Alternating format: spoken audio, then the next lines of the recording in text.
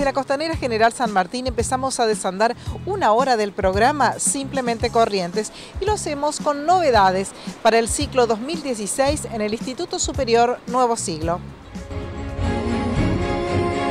Continuamos como siempre con nuestras tecnicaturas, pero la novedad más importante es que además del convenio que teníamos con la UCES para complementación de nuestras carreras, que permitía que nuestros egresados siguieran las licenciaturas en marketing y en administración, hemos sumado dos carreras de grado, la carrera de abogacía y la de contador público. ¿Cómo es el sistema de estudios, Dorita?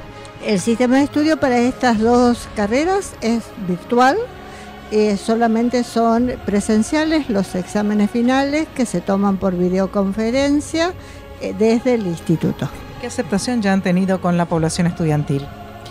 Bueno, este, recién está lanzado esto, pero hasta el momento hay ya unos cuantos inscriptos, hay una demanda importante y creo que es una alternativa eh, muy favorable para nuestra población, para nuestra comunidad, por cuanto se tiene la posibilidad de hacer carreras de grado de mucha demanda eh, de una manera virtual, cosa que eh, facilita para aquellos que no tienen disponibilidad de tiempo y que la distancia también le puede significar un trastorno. ¿Están cumpliendo cuántos años en el 2016?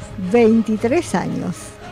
Lindo número además para este, incrementar todas las carreras y la propuesta educativa. Por supuesto, siempre hacia adelante, creciendo y tratando de brindar el mejor servicio para nuestros alumnos.